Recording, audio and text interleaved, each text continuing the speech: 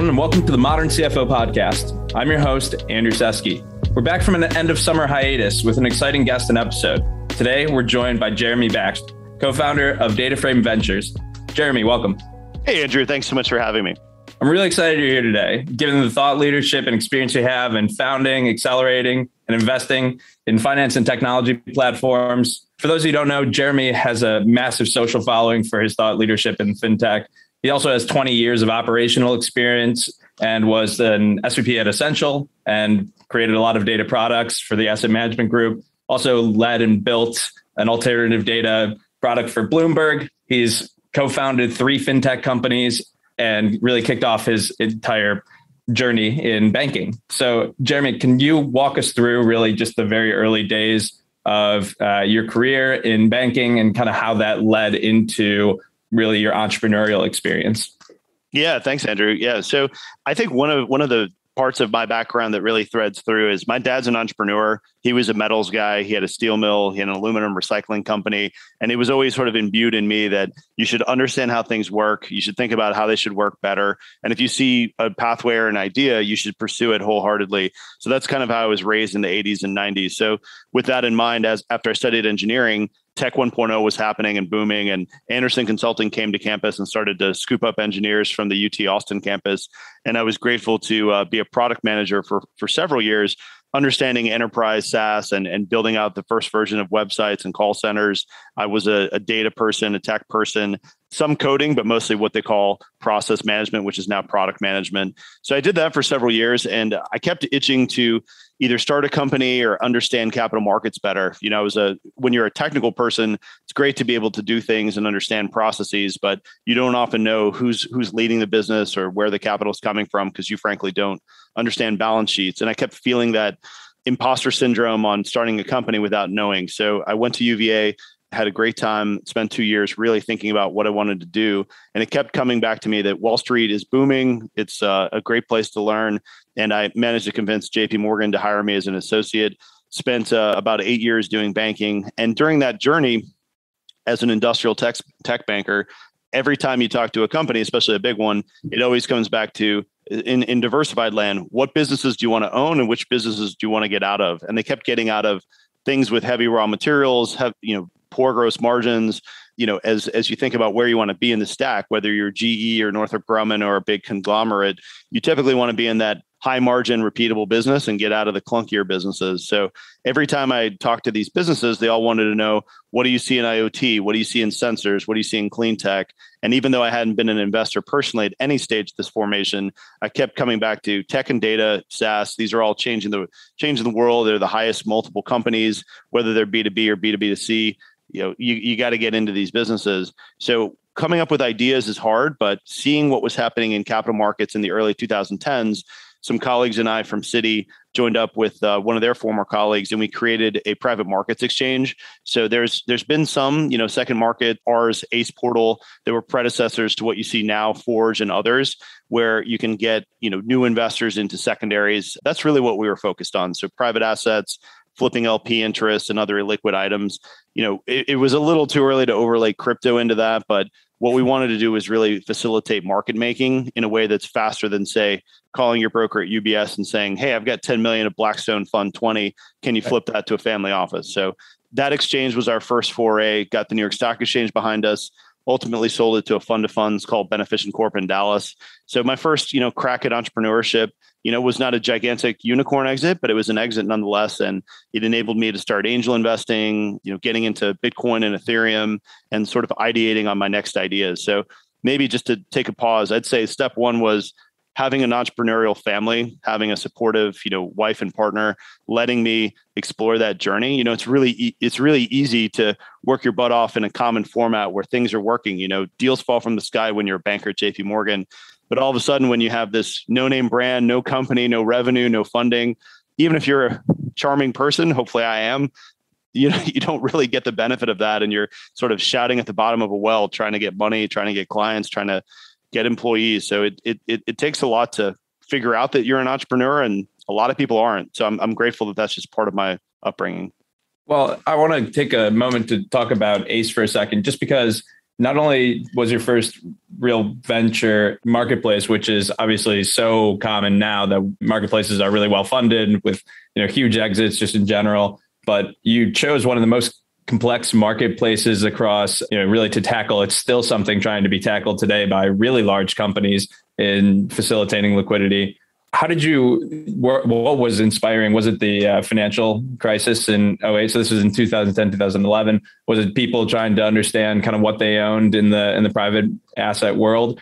Kind of what led the marketplace initiation in your mind? And then how did you attack that from an entrepreneurial standpoint, a technology standpoint, a regulatory standpoint? You kind of chose a lot of very challenging advents to the beginning of your entrepreneurial journey. You said it right. I, I, would have my head examined if I ever had to do that again. I mean, I, it's almost like the the fear factor is is almost nil when you just jump off a cliff and you have no idea how high it is. I would definitely say it was really challenging. So I think step one was Peter Williams, the founder and CEO, had been doing private placements for a long time. I had touched some of those private placements, but what he realized was two guys and a telephone is how this business runs. So the first step was automating a process when you see a process that has very repeatable patterns yet involves you know a ton of people it doesn't often make sense to have all those people involved so whether you're a real estate broker private placements broker you're just sort of thinking about if you could map all of the funnel of the 20 things you need to know, maybe some offering documents, and put all the investors or interested parties in one place, hopefully they can transact in a more automated way. So I think the step one was there's no leap of faith there to say you have all these people, an expensive, clunky process. Can you automate that? So that that really spoke to me. So I wasn't the founder of that business. Our founder had been doing that a long time and really had the vision for it. On the tech side, we actually gave 20% equity to a company out in Brooklyn to create all of the tech. I had been the closest to tech, so I was kind of the natural product marketer, commercial product person, and we actually outsourced all of the tech. So building that tech took a long time and was challenging and probably took way longer than we ever expected. It took us long, much longer to get funded than I ever expected so all those things were tough. And then from a legal compliance standpoint we had to decide are we a brokerage or are we a software company? We ultimately realized that to be an ats to keep our brokerage licenses and to all do all those other things was very complex. We actually shifted more to the gateway model of having a software package and, and a listing fee rather than a success fee. Because we really at the end of the day at first we're acting as brokers without taking brokerage fees. And we realized a that's not really scalable and b doesn't really leak to the heart of what we wanted to do, which was automate this process. So it was really challenging. So we made these decisions step by step. So as a more of a listing service, it helped us attract the New York Stock Exchange because they they right. like the idea of we're not brokers, we're not bankers, we don't have lumpy revenue.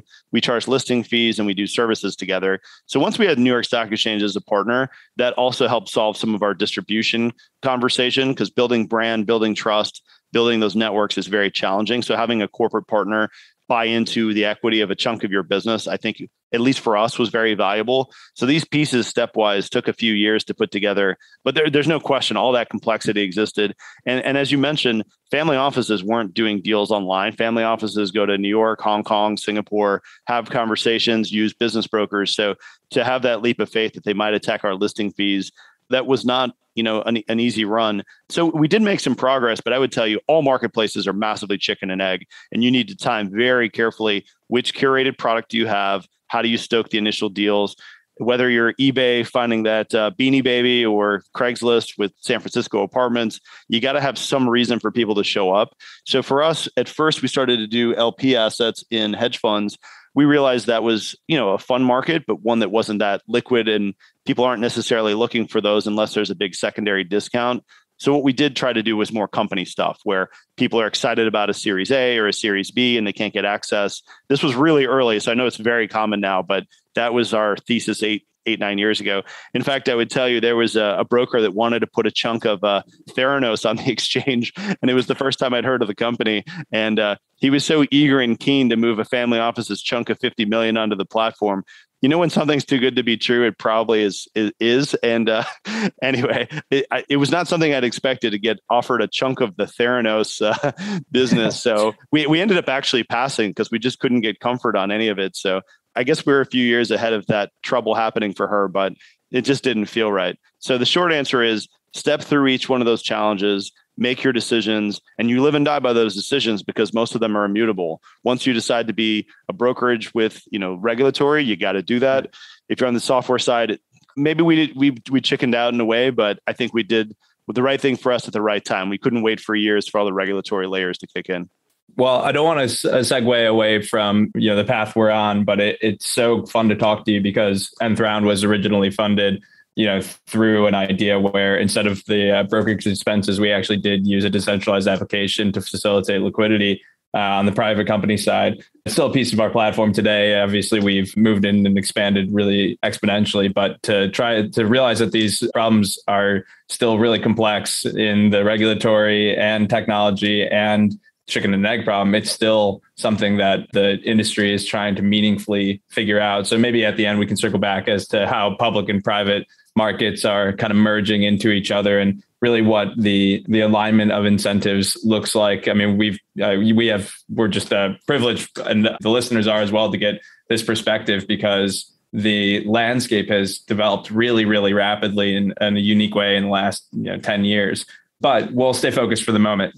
When you think about kind of your career in a whole, and we can move on to the next project that you started as well, and move into Bloomberg days, but do you really think of yourself as it has it evolved between operator, purely operator, entrepreneur, investor? Uh, I know sometimes there's a career track or banking and then and then through. But you know, when you think of your journey as a whole, do you identify best with uh, entrepreneur or investor?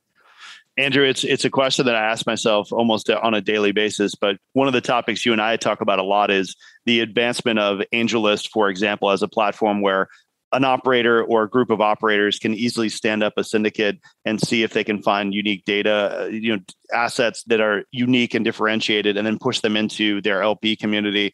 You know, two partners and I stood up Data Frame Ventures at the end of last year. We've done 17 deals, a few million uh, in capital deployed. It was almost by happy accident. We would find something we found interesting in a data-oriented company. We'd put it up to our LP group. The first few deals took a lot of stoking the well and like calling people and actually acting as agents in a, in a way like hey we put this deal up. Are you excited about it? But by the fourth or fifth deal we kept finding as you layer on lps as they understand your thesis as you build up trust deals were moving faster and faster and faster. So we almost spend almost all of our time finding interesting deals and zero time promoting them because they don't really require promotion if you have a really curated funnel. So i think it's emboldened me to go deeper into my life as uh, a fund manager. I think with uh, unique access and talking to a lot of people and understanding one specific industry, that really is edge for me. So going really early into private companies in areas I understand well, that to me is my edge. So I am shifting more into a full-time investor hat. And I guess I would tell you that starting a fund is no different than starting a company.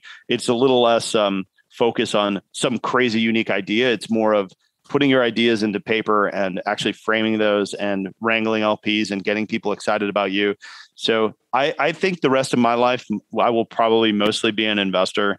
I, I, find that to be really fun. And and look, between us, I've started or been a part of some really interesting companies, but I don't know that I'm a next level founder. You try it a few times, and if you don't have a unicorn exit, you know society tells you you haven't succeeded. I see a lot of my friends and and more people in the industry accepting of a 52 multiple hundred million dollar exit as long as you're really helping and influencing people or building a unique product or something interesting and remunerating your LPs, you've done really well. You know, as we've talked about, 95% or whatever the number is of companies in the seed stage don't get to the series A stage. You don't always get to win. So having an exit that's 10 million plus, as long as you didn't raise 10 million, is probably a good thing for everybody involved. So long story short, probably going to spend the rest of my life as an investor, in part because I think founding is really hard. You really have to love something and commit to it for at least 10 years, or you probably have already, you know, failed in that journey anyway. So it's a great question and one I ask myself a lot.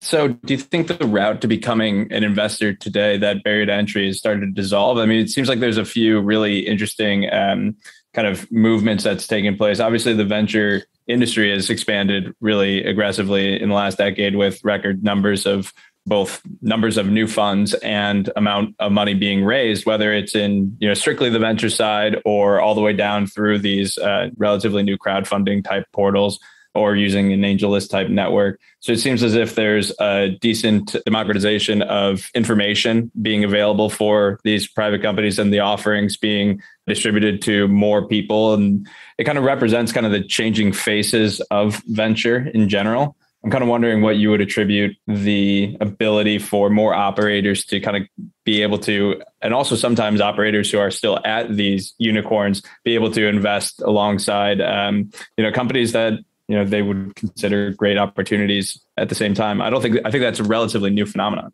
I agree with you. I think it's community and microservices. So if you hmm. can create your own brand and your own platform, I'm fortunate that on LinkedIn I've had 20 years of you know putting posts up and writing blogs and so forth. I've now got 31 or 31,000 or so followers that tend to like some of my stuff in data, fintech, crypto, being a VC, being an entrepreneur. So I've got a good following there. And I think that's been really helpful for me. Some people use Twitter or whatever intellectual format to get followers. So I think you can build the brand and the community for yourself or your team. That's a that's a great start. And then the microservices piece, you know, great companies like yours, like ninth round, uh, nth round, um, you know, that that's really how you get involved. So if you can outsource legal, outsource compliance, get your custodian and do all that stuff in a relatively easy way, and it's all stored on the cloud and it's all locked up it's it's pretty easy. So community and microservices are probably where it's at, and then the the willingness of everybody to be an investor. I think the retail movement. You, you see great companies like TradingView and others like allow anybody to be a stock statistician or understand what's happening in in crypto. There's some great companies that cover crypto well, really well, like Messari, that you know have institutional clients. They have retail clients. So as you said, the information, the access, the cloud, the services, the backend, if all of that is relatively easy and you've got a community and you've got a thesis, there you go. You know, you're an investor. And then once you start proving it with with some nice wins, the branding is a flywheel. It just keeps getting better and better. So we started with uh, your career starting in banking. We've moved through marketplaces and entrepreneurship. How did you go to creating a, a new product? You know, this alternative markets data platform for Bloomberg.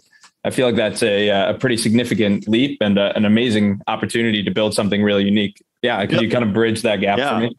Building products is super hard. I, my hats off to technologists and heads of product and people that can build. Building is is very very hard. So my journey uh, after Ace Portal went through a few different steps, and some of them were unexpected. So I was I was very fortunate to uh, be the CRO at Estimize under Leigh Drogen. Leigh taught me a ton about marketing and marketing yourself and understanding you know, from first principles thinking. Uh, he's a really impressive guy, and I, I, learned more than I realized from him in that in that time together. So what Leigh was doing was creating at Estimize a unique data set using the crowd. So he had left StockTwits thinking people are getting more quantitative. What if I could actually poll traders and retail investors on their expectations on earnings and revenue per quarter? And you've got this unique data set that is great for StatArb and, and quants and quantamentals to try to beat the quarter or to nowcast. Brilliant idea. I really embraced the crowd collection of data and then using it in a systematic way. It was a, both of those categories were very new to me. So after spending time with Leigh, my very simple observation was there's only about 20 funds in the world with a gigantic budget and the ability to process data. And I knew because they were testing our data and several were buyers of our data. But as you started to walk it down to the next layer of you know fund 50 down to a thousand that even has substantial aum they're still really not using data in their process. So i kept thinking about ideas in that category. Ended up raising uh, a few million from a family office and brought some of my friends into a company called connect connecting equities for quants. And what we were trying to do was really stitch together unique data sets in order to help facilitate kind of this quantamental view for you know PMs in various industries. So if you've got an energy PM that wants to understand the size and depth of uh, the oil tankers around the world, and you had satellite imaging to sort of see that, is that something that helps you understand futures or pricing in that category? So I started. This was my first foray, foray into alt data and I kept coming around to wow, there's there's lots of different data sources. Nobody knows how to find them. There's very few people that can pay for and use them. How do you wrap all this into a bow and package it? I thought it was using the data structures and being more technical, but what I realized was after a year of trying to make that business go, it was you need trust and you need a big platform and you need distribution. So I was uh, talking to Bloomberg and a few others about acquiring the company or somehow working with us. I ended up being lucky enough to uh, to join Bloomberg and spend about three years there working with the enterprise data access portal and and putting a lot of unique data sets in there. It was the beginnings of what is now you know a pretty pretty large you know alt data practice.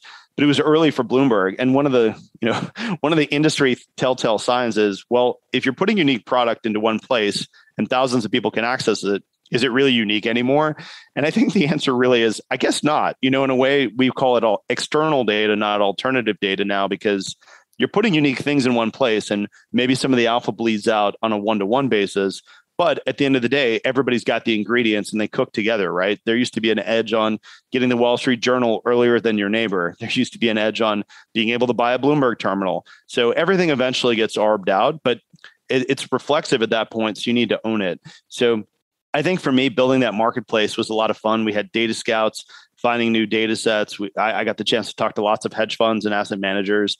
And yeah, look, these things are hard, but when you already have an installed base and a brand, the thing that's hard is convincing people to focus on it, but you have the assets, the resource, and the distribution. So being kind of an entrepreneur was a good role for me at the time. I like to uh, break glass a little bit, so I probably move around or have moved around more in my career than I'd like to admit. But I did end up, you know, using the the Bloomberg uh, sort of brand and, and, institution to meet a ton of great people. Ended up running Essentials e-commerce analytics business for them for some time as well. So finding unique e-commerce assets in-house that can be sold into asset managers and so forth. So I think one of the areas of alt data that really interests me as it relates to being a VC is you've got an industry where most of the people are very Ivy League and very uh, institutional. Some of that's flattening out. You've got a lot of really interesting emerging managers that are breaking the mold a bit, which is cool. But I would tell you that most VCs, they might say that they use data. And there, there are certain ones that are better than others. Let's say correlation ventures that really is a deep data, more of a systematic from a VC perspective, I think I, have spent too much time in data. VC should use data more. There's no reason why we can't be scouting in, you know, Eastern Europe or some new area to find undervalued assets. Because that's the other thing, Andrew, we can talk about all day long. Valuations are insane. I don't care what asset class you're talking about, but certainly in venture they are. So finding companies that are interesting, making progress and have traction, whether it's in an underserved market or somehow have a valuation gap, that I think that to me is the biggest challenge of being a VC, and that's one I'm really trying to explore now in a few different directions. So we've had a lot of really interesting people on the podcast, whether they're private company CFOs, public company CFOs, angel investors, venture capitalists, and they all try to take a unique approach as you're trying to, as you know, we're discussing. But one of the things that we try to focus on on the podcast is just to, trying to picture what a modern CFO or somebody who represents a, a modern company that would be an attractive investment opportunity would look like. And you just gave you know, um, you know geography and demographic and uh, you know kind of the similarity of approach that kind of exists. What do you think that the like the modern finance leaders or entrepreneurs are going to be looking like, or, or what do you see as a modern CFO that you could invest in? Are there key characteristics that you think separate, given your experience across utilizing unique data sets or being an operator, an entrepreneur yourself, or even just experience from seeing you know massive transactions on the investment banking side? I think the CFO seat is one that has a name, but they're so different, right? The types of roles you can play as a CFO.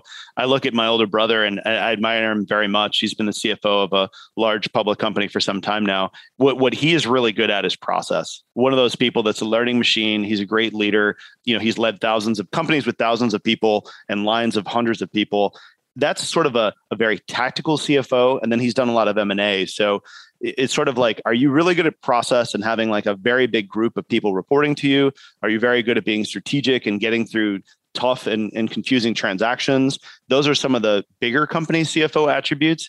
Certainly on the private equity side or others where you're in a, a changing industry or the dynamics are moving against you. So you need to be a very tactical money saving CEO, a CFO. That that's like another one of the elements. And then of course there's the young company CFO that almost acts like a COO or CEO and has to be very tactical from a different perspective. So when I look at the modern CFO, it's almost like, what do you want to be when you grow up?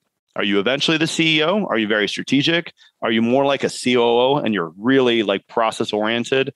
Or are you a visionary that you know wants to figure out what pieces need to be pulled in together what capabilities do you not have getting closer to the cpo more of a product cfo there's so many different ways to be a cfo one of my good friends just started a cfo outsourcing practice and what his design is is he wants to work with companies from like 10 to 100 people and you know be a fractional cfo in the sense of making sure the p&l is great everything's neat and tidy. You're able to re- re- receive VC interest and VC money, and then you know I kind of move on. And and I think that's a that's an interesting way to go with it. You know, like a small company doesn't necessarily need a CFO. They probably just need somebody that's really good as a bookkeeper. So I just described an incredibly broad range, but I think it's almost looking in the mirror at yourself and saying, what do I like? What am I good at? I'm obviously good at you know the accounting and like the basics but how can i lever up myself and like be a better cfo a cfo that's really good at data science you know if that exists maybe that's a very tactical cfo that can find m&a assets and work closer with the corp dev team. I think there's a lot of cross disciplinary actions that are happening now and people need to be good at one two or three things aside from their primary seat.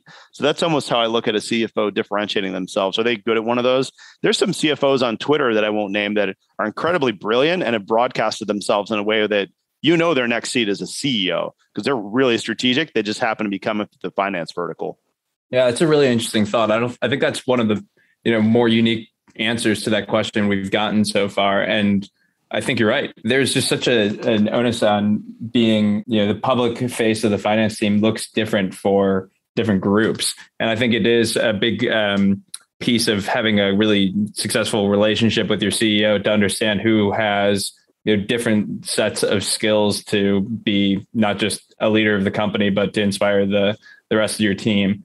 I think being very honest and accountable as to what your strengths are probably goes a really long way. So one one comment I would make is uh, I was I was able to go to the SALT conference this week and uh, oh, heard cool. from Jeb Bush, Paris Hilton, Steve Cohen. Uh, is Anthony, Scaramucci does a wonderful job of creating a really great set of uh, people to talk. And uh, I think one of the perspectives I always draw from these kinds of things is what what are these people talking about? And I, I, would tell you that maybe selfishly, a lot of the topics I've gravitated to are where their heads are at. How do you hmm. create mm. organizational alpha? Is it being awesome at process? And as a hedge fund, do you have unique data assets? Like, what are you really good at? Are your PMs really good at risk management? Are you getting more into crypto and some of the newer assets? Where is the edge? Where is the globality? Where is the risk management? Particularly in a time where you know MMT is rising in a way that is is sort of we're in the third wave of this cycle, whatever this is, the long tail, and uh, trying to figure out how do we remunerate people, how do we keep people motivated, particularly at the bottom of the economic cycle. It's it's really challenging, and Ray Dalio is somebody I admire significantly, and he was giving this conversation around really just knowing where we are in the cycle, he's even getting pretty deep into crypto and other assets where he just knows that the stack has moved. You know, hedge funds are getting into venture capital, venture capital is getting into private equity, private equity is getting into public markets. Like everybody's converging. So being crisp on finding new assets and frankly hedging yourself against inflation are where it's at. You know, Mike Alfred's a, a, a friend of mine, and uh, I heard him on a podcast yesterday, the Preston Pysh Show, he was just saying, look, anybody that doesn't understand crypto, I just tell them it's a it's an MMT hedge. It's it's mm. basically an MMT hedge, and if you don't get that, fine. You don't have to like Bitcoin or crypto specifically, but find your hedge. And a lot of people are finding it in crypto, including some of the smartest people in the world that have gone on record saying that, including Ray Dalio. So I do want to take a moment and I want to hit you with a couple rapid uh, fire questions, and I'm going to open it up across uh, some really really broad themes at the end here because we're we're hitting a ton. But I want to dial in for a few quick ones and just then again just really really open it up because I I'm really interested to hear. I always ask kind of the same question at the end of of every podcast to really open up to hear what you think is really underestimated in the world today. But we'll get that to that in a minute thinking about you know you just went to this conference too it's probably going to influence a little bit about the answer to this question but just in terms of your thinking right now in investing what's top of mind today? And what are you thinking about just in the next 12 months? I think the most interesting topics are bleeding edge tech, crypto, and other areas where you have a chance for massive uh, equity ups. And uh, I don't know how big of a percent of anybody's portfolio that should be, but I think it's important to be looking at that. And I know we've talked a little bit about NFTs together. I, I'm not sure that I fully get, you know, licensing a JPEG or owning a JPEG, but I got to tell you that when you see I was looking at crypto dads yesterday. It's kind of like a Simpsons avatar with, with a dad in it, and there's 10,000 of them. It started off as almost zero Ethereum yesterday, and they're already at like two right now. So when you see things go from zero to the US equivalent, dollar equivalent of let's say six, seven, eight thousand dollars. JPEGs go from zero to ten thousand dollars in 48 hours. You should probably be paying attention to that trend, whether you ride it or don't. So crypto is probably near the top of my mind. And then some of these overlapping companies where there's crypto, a token, and a real asset. A friend of mine is an advisor to Lofty AI. Lofty is buying, you know, properties and licensing out those properties, and there's a token involved, and you have unique access to the cash flow of a specific asset you're going from a single family homes kind of invitation homes blackstone style business with you know instead of buying 3000 at a time and owning them you can own one at a time or fractions of them get the cash flow and own a native token.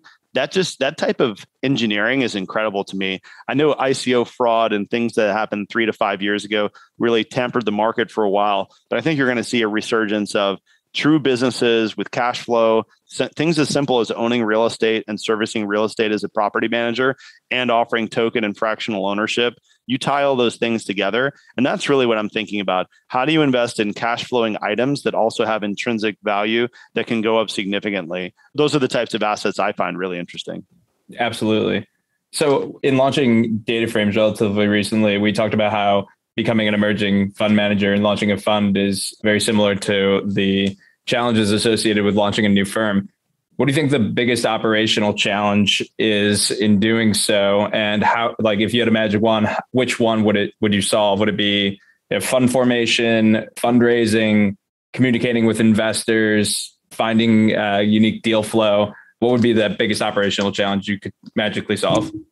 I mean, perhaps for me, whether it's a company or a fund, it's always finding the funding. You got to find people to believe in you and wire you money. Lots of people will tell you that your baby's pretty and then walk away and not really invest in the baby. And it's very easy for VCs, family offices, institutional LPs to say, this is interesting, but not right now. Come back to me in six months. It's very easy for them to give you optionality. It's very hard for them or hard for you to convince them that there's urgency and you need to wire now. So I think that's the hardest part is creating a product, creating the product marketing, imputing that vision into who you want to follow you and invest in you, and then providing the FOMO, you know, hey, this is going away in 60 days. We're fully subscribed. That kind of marketing conversation is really challenging. And maybe for me, like, I'm not sure that my product is the most differentiated in the world. I believe it is. I'm an entrepreneur, so I have to believe in that. And I, I think I do generally. But getting other people to resonate with that, I think, is the toughest. Deal flow, you know, deal flow is is not a problem for most funds or for me. I see lots and lots of deals. Having said that, timing, speed, conviction, commitment, you know those things are hard having real conviction on somebody especially when you don't have a strong signal yet that's really hard i mean i play in the angel and seed space right now and you really believe in people and i've seen rounds now multiple millions going into you know 15 million valuations for pre-product companies and you're only relying on your gut, the knowledge you have of that person, and their ability to execute. And that's a really hard bet. Anything you can do to to uh, parse through the signal as fast as possible on product market fit that's really what I look for. is like trying to find a company where you can get a few access to a few of their early customers and really get a sense for is this something that you would double down on? And do you think a hundred people in your industry need it? That's really like where I spend most of my time. But spinning it backwards, I would say creating a product, creating a vision, getting a website thrown up, convincing two or three or four people to join you, those things are all hard. But actually taking that and getting an LP to wire you money that's that's always the hardest. Clients get your clients and get your lps line them up in the same time frame before the money runs out and you give up and go back to corporate. Yeah one of the early pieces of advice i got from one of Nth Round's co-founder and the i hear him repeat this all the time is that in the very beginning you've got to either have people who are irrationally in love with you or in irrationally in love with your idea. If you don't have either of those you're you might be um, in for a hard row ahead which might be a little again a little bit different right now in the current fundraising environment of being you know, some of the uh, YC assets that exist today. And what do you think the biggest operational challenges you've overcome has has been like in maybe even in uh, not just DataFrame? Yeah, you know, I think I think it's knowing when you're in a cul-de-sac, and and mm most people don't really talk about this, but if you have a product that you believe in and you think is going well, but somehow, some way, you, you just don't have revenue, let's say year one, one of the toughest decisions I had to make was leaving my my startup, my third, and going to Bloomberg and acknowledging that I didn't build anything useful. I don't want to keep pushing this along. I don't want to ask anybody else for money. I'm willing to and able to reformat who I am into more of a corporate role and to try to be an innovator in corporate. That was really challenging, right? And I'm not saying you get through all of them. And for me, knowing that it was time to throw in the towel. Like th- there's nothing harder than ad- admitting defeat, but better to admit defeat early and move on and be able to pivot. I think that was one that, you know, taught me a lot. Knowing knowing when you don't have the daylight and accepting that is hard. I mean, I've known some people at the angel or seed stage running their companies for 10 years because maybe their dad put in the money or they feel committed or convinced or they need to do it for their co-founders and they don't accept defeat that's really cute in those Hollywood stories that occasionally happen where we pivoted one last time and you know created a unicorn, but most of the time that's not the case. So I, I guess for me, it's just acknowledging defeat and and moving on from it. That's hard. You know, take your next shot, knowing when to take your next shot. So I normally ask something along the lines of, you know, a, a, book you'd recommend or a way you got through the pandemic in terms of, you know, you, whether it's distraction of an educational pursuit or research or something like that. But I feel like for you, I have to ask more along the lines of where are you getting today your inflow of information or what do you rely on most, whether it's a newsletter, podcast, tools, or maybe something, maybe assume that we've got, you know, the Wall Street Journal, you know a few thought leaders that we all subscribe to and linkedin. You know what's a what's something that maybe the listeners haven't heard of or wouldn't know to look for? Maybe it's a you know fintech or a, or a crypto based learning tool. Is there any kind of unique place that we should all be looking for information from? I mean given your you built a lot of these uh, you know, data platforms but right now you're investing so are there other people you've relied on to carry that torch it's one of those things where I find parsing through the information is the hardest. I don't rely on traditional sources like the Wall Street Journal often. I do have a Bloomberg subscription. I admit I kind of got addicted to it. So I have that. But most of the signals that I see are really on Twitter. I find that following the smartest people in each category I like and just being rabid about what they're saying, following their blogs, going where they go, I think that's very useful in my past, I've tried to read one long form book a week every year, and I've, I've, I've managed to do that most years. I would wow. say this year I did not keep up that pace, and I'm really disappointed to admit that. One of the books I read through the pandemic was Range. I know it's a pretty well known book, but Range by David Epstein about look being multidisciplinary is where we need to be I think being awesome at one thing works if you're an, an, NFL star or a rapper or some. Well, look, even even musicians and artists do eight different things now. I saw Paris Hilton this week talk about her perfume, her jewelry, her you know hoteling, her NFTs. I think an artist that's multidiscipline that already has an audience can obviously be a billionaire compounded many times, but I think um, reading long form books is useful. I typically hear somebody talking about a book, and that's the one I gravitate to. Podcasts are great. I'm just looking at my list of podcasts Lex Fridman, Tim Ferriss, My First Million, Stuff You Should Know, We Study Billionaires, The Breakdown, Meb Faber Show. I, I love podcasts, long form, listening to really smart people, really distills distills knowledge down in a way that's very useful. So I'd say whenever I have a free gap, I'm, I'm on Twitter following some great people. The usual suspects. I mean, I try to find some people that are underfollowed, but those people tend to be great and break out pretty quickly. Yeah, absolutely. I have to recommend another. I'm probably not supposed to do this on my own, but the Acquired podcast is a great podcast for for investors. Know, they started the idea with uh, looking just at really successful acquisitions, and they ran out of episodes pretty quickly. So they uh, have really changed into a, a really amazing podcast and talk to incredible people. I know you'd enjoy it and the rest of our listeners, obviously, as well. So now I want to open things up a little bit and maybe give you even just a moment to think about this question. And I asked it to a lot of CFOs because I think they've got unique perspectives of just different pieces of organizations that aren't quite as transparent to the public. But I think you've got a really valuable perspective as well in a number of ways, as we just covered. So, in thinking about just the entirety of the conversation so far and all of the things that you're currently looking at, what do you feel is the most underestimated by others in the world today? And is there someone who's addressing that that is inspiring you? After being an M&A guy for a long time, I always think about portfolio success, especially for the companies I work with. And I think a lot about what are you building? Who are you building it for? And on a few boards I sit on, I try to reverse engineer that. Are you building for your clients? Are you building for your customers? Are you building to remunerate your investors? Who is the stakeholder that you care the most about? And a person that's really inspired me a lot, who's actually on Twitter, his name is Andrew Gazdecki He's the CEO of MicroAcquire. Yeah. And Micro MicroAcquire, I'm an investor through one of the emerging managers I invested in. So I'm not a direct investor. I am cheering this guy on every day. And the reason I do is I think he's so clever. He's got a partnership with Clearco. He's yep. he's built, building himself a great brand. And MicroAcquire is fantastic. You know, a lot of a lot of my friends ask me, what happens when you get stuck? What happens when you get to two million revenue? What do I do? How do I exit? So I, I think the area that's most interesting is small market M&A. And I'll tell mm. you why. You know, when you're a big company and you're acquiring assets, maybe you're data driven, maybe, maybe you know the companies you want or the technologies you want, but there's a lot of orphan assets that actually make money that aren't big enough for a private equity fund to buy them into.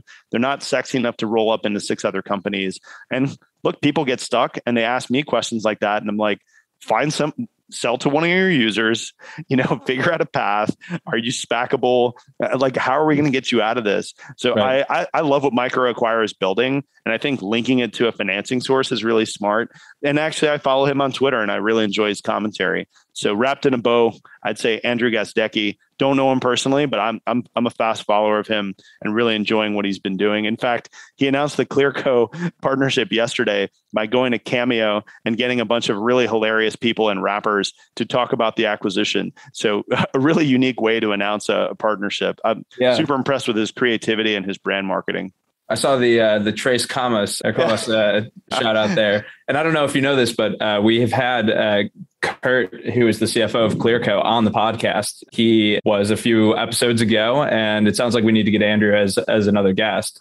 We can really go full circle between the CFO of Clearco, an active investor, and uh, that founder. That would be really fun. And I think you're right. I think he's uh, he's going to do big things, and it's also solving one piece of your original equation, which is you know, can you facilitate liquidity in a meaningful way in the private markets? And, you know, really all of those institutional grade tools have been built around the pre IPO infrastructure or, you know, yeah, basically just the late stage venture backed secondary market. And really the underserved entrepreneurs are still in that kind of smaller M&A field. So I'm, I am excited to watch that grow and uh, we'll have to, we'll have to reach out and see if we can get him to share the conversation with us soon unless there's anything else you want to jump into, I did want to be, make sure that the audience could find you and kind of enjoy the thought leadership as well. How do you uh, suggest people get in contact, uh, whether they're interested in learning about DataFrame for investment opportunities or even following you on social? Is there any way that you want to let people know they can get in touch with you?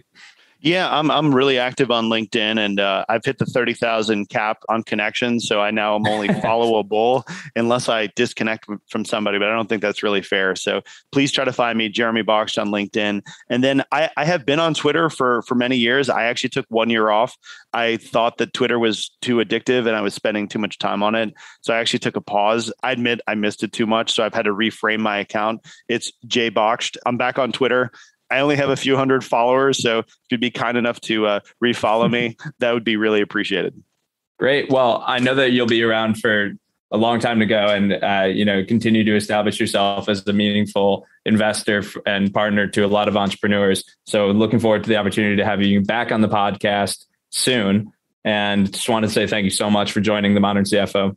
Oh, Andrew, look, my pleasure. And uh, I know you're building a, an interesting uh, discipline and practice there. And I think helping emerging managers at uh, Nth Round and uh, you know being kind to people like myself, it's virtuous. So I'm a big fan and uh, and grateful to be on with you and uh, enjoy the conversation. Excellent. Well, thank you again. And this has been the Modern CFO podcast. Until next time, it's Andrew Seski, and I'll talk to you soon.